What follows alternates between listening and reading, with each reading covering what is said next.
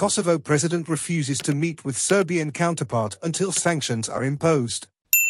Kosovo President Vjosa Osmani will not meet with Serbian President Aleksandar Vucic during the two-day European Political Community Summit in Granada, Spain.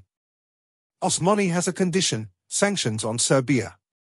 There is no reason to meet before sanctions are imposed on Vucic, Osmani said at the entrance of the meeting.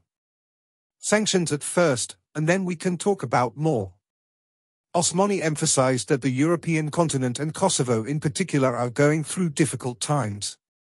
These are difficult times for Europe, especially for Kosovo since we recently faced an act of aggression from Serbia that was carried out by a group of paramilitaries and terrorists, she said. I am here to ask for the support of European allies to impose sanctions on Serbia. And so they will not be encouraged to repeat such acts against Kosovo and its neighbors again and again.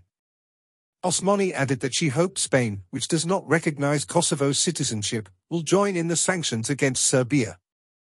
The leaders of the European Union countries and about 20 other leaders of the countries of Europe and the Caucasus are participating in the Granada summit.